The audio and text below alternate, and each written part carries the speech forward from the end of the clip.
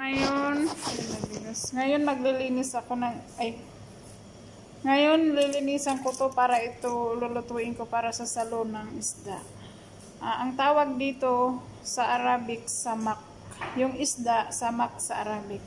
Ito lilinisan ko muna.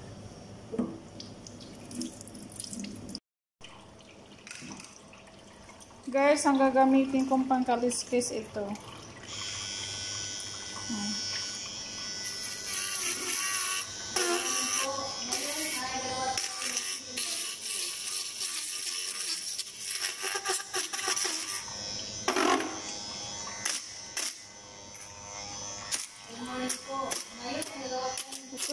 Matalim to guys eh. Binili ito ng amo ko, hindi ko alam kung saan niya ito binili. Madali lang siya tanggalin. Mhm. Hinawakan ko man yung isda. Ito yung grated na garlic, kamatis, at saka yung sibuyas. Ayan. Ito na po yung isda natin, nalinis na. Ayan, ibabad ko muna siya para tanggal yung langsa. Nilagyan ko siya ng korkom, ah, turmeric, suka, asin, at saka flour konti. Yan. Babad muna natin saglit para tanggal yung lansa niya bago natin i-marinate. Ayan lang. Ito yung pang-marinate natin, garlic, i-grated yan, tapos isang lemon. Ah, turmeric.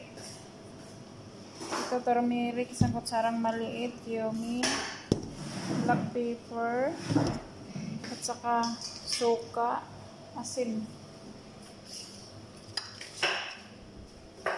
Ito pa asin. Yan. Ito na yung isda natin. I-marinate muna natin mga dalawang oras bago natin lutuin. Ayan. Ayan, hinalo ko na lahat yan yung mga spices na. Ito na yung gagamitin natin pang luto. Ito may tomato paste, ah, coriander leaves, saka bell pepper, sibuyas, celery, saka may grated na kamatis tayo ah, lemon. O lemon o curry leaves at saka stick cinnamon. May curry gin ay ginger at garlic. Cardamom hill. Ah, black pepper.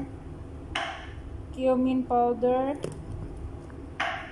Ah, turmeric. Coriander powder. Salt. At saka yung tamarind paste natin. Ito. Ito yung pang paasim Ayan, yan lahat. Tagi isang kutsara lang nito. Ito, ito, ito. Ito, tansyado nyo lang ito. Konti lang. Ayan sila lahat. Ito.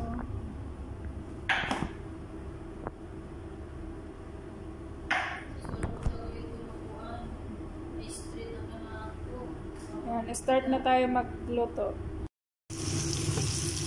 Ayan, nagisa na tayo ng sibuyas. Tapos nilagay na natin yung curry leaves, uh, lemon full, at saka cinnamon stick. Pa-brownie natin konti bago natin lagyan ng garlic at saka ginger.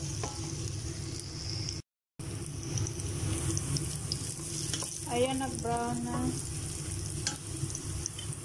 Add na tayo ng ginger at garlic.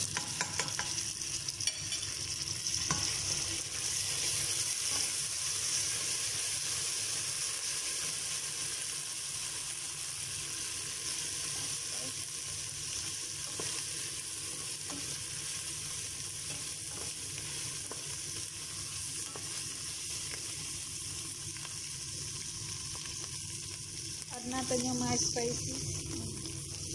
Pinaghalo ko na.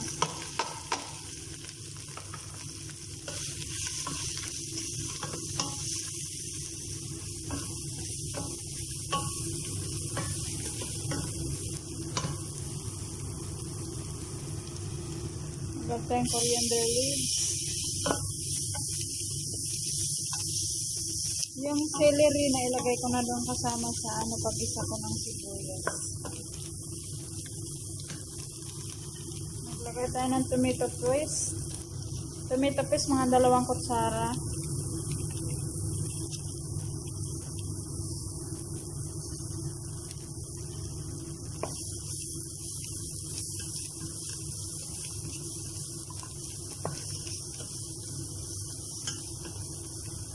Isunod na natin yung kamatis.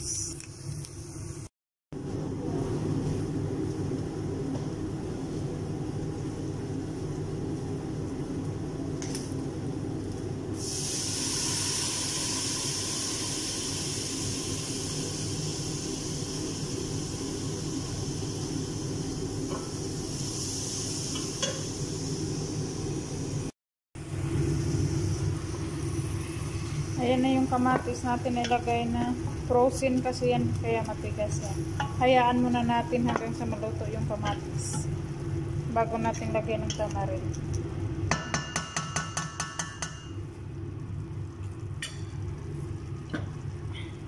Ayan, takpan muna natin.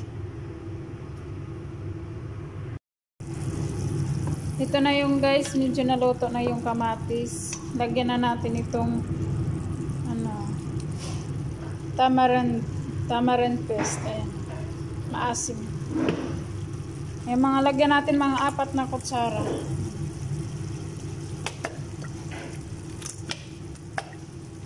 Basta tansyahin niya lang guys.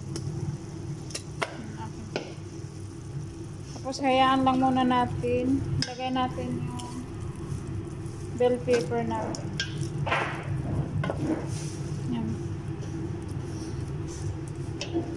Hayaan lang.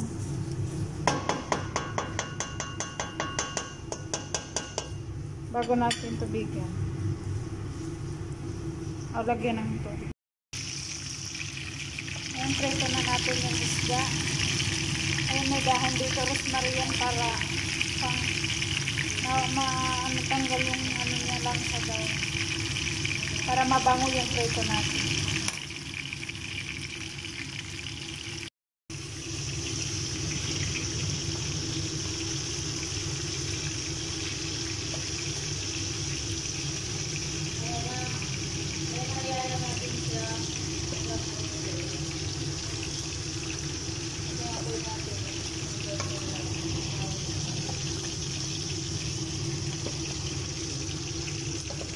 Nag-add na tayo ng tubig. Hiyan lang natin pakuluin bago natin ilagay yung isda. Ayan ang.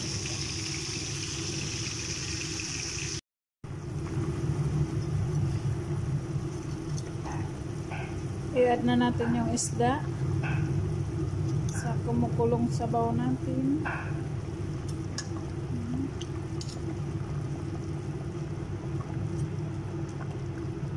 Templado na yan. Kasi kanina may asin yan. Hayaan lang muna natin hanggang sa maluto.